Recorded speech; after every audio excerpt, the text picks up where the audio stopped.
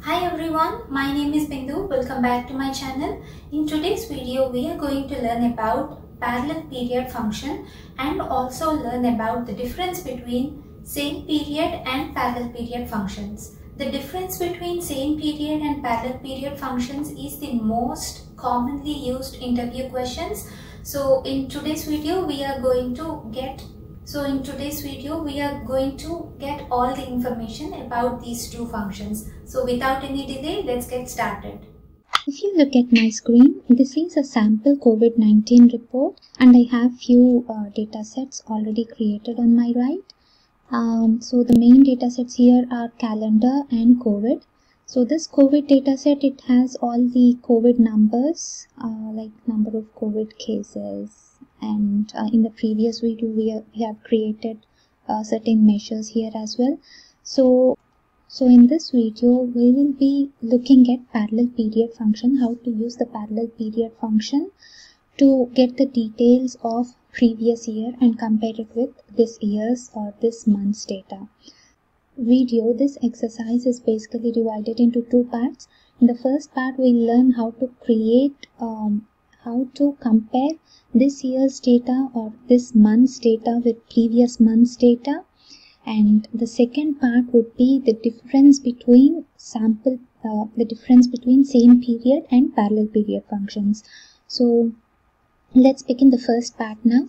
So for the first part, um, my requirement is to compare this month's data with previous month's data. So for that, I'll be creating um, one measure here and my measure's name would be parallel last month. Okay.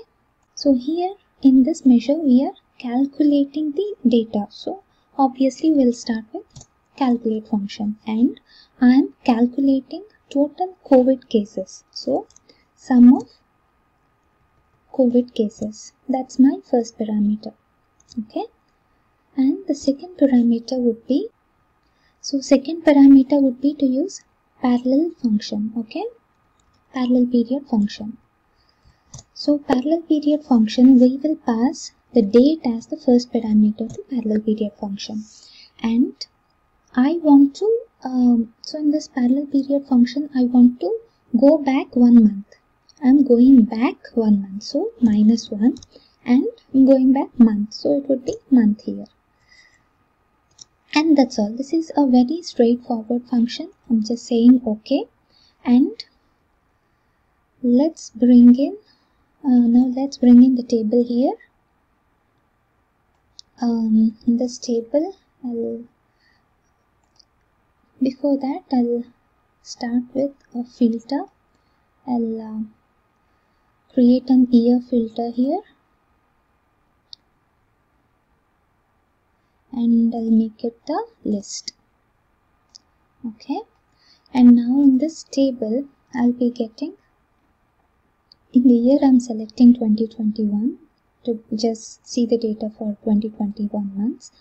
And here um, in this and in this table I'm selecting month and total number of COVID cases and parallel LM which is last month's data.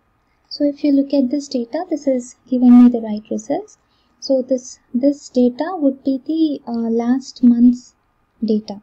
That would be for 2020 December. Okay, so just let's just ignore this value for now.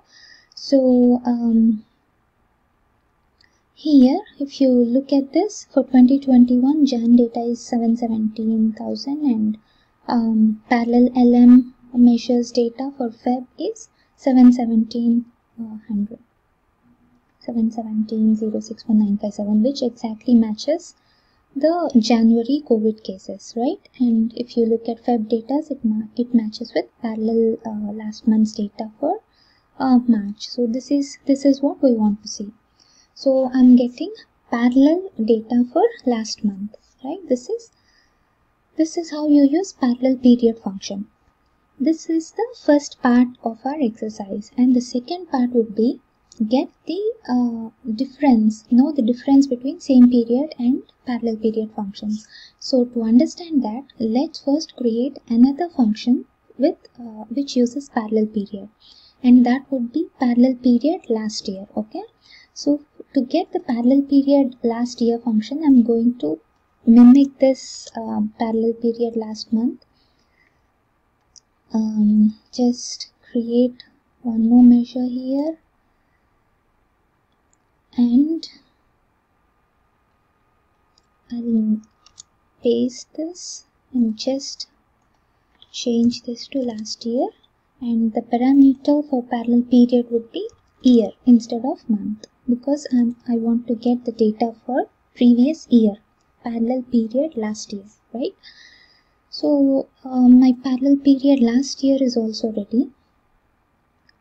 Now I'm going to bring in the table again. New table here.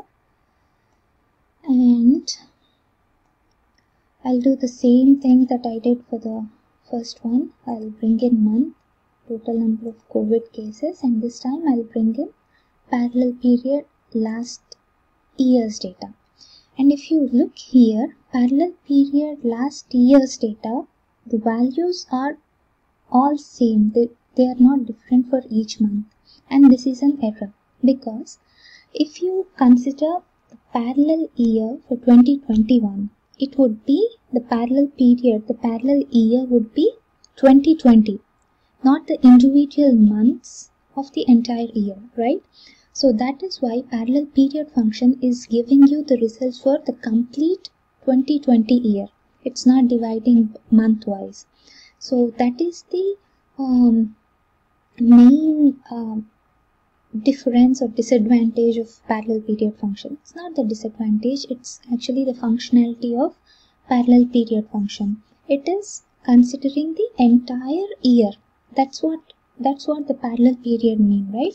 For 2021, the parallel period is 2020. For Jan month, parallel period in, in the previous year would be Jan 2020. So it's doing the right thing, but this is not what we want to see. So if you, so now let's use same period function and see what the results are. I already have the same period last year function defined. If you don't know how to create this, please visit the uh, last video uh, which is on same period function. There you will see the, uh, there you will see how we created this measure. So now um, I'm going to create one more table and bring in month total number of COVID cases and this time I'm getting same period last year measure. Okay.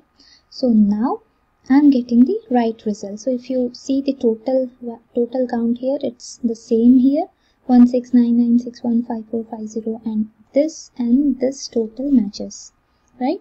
So the same period last year function, it's giving me the right counts. It's dividing the data month wise that is what we want to see because same period last year that means if you want if you're looking for jan 2021 same period last year is jan 2020 so that's the functionality of same period last year.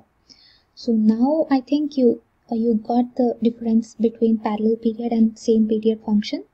Um, so overall uh, as a conclusion you could say when you have complete years data. When you're comparing two years and you have complete data for both the years then you could use any of the function. You could use parallel period or you could use same period functions.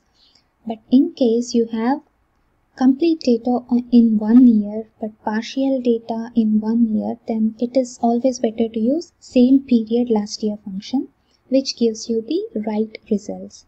I hope this is clear now I hope this is clear now. I'm also attaching this file in the description box below and if you have any questions, please feel free to ask them in the comment section below. I'll try to answer all of them. See you in the next video. Thank you.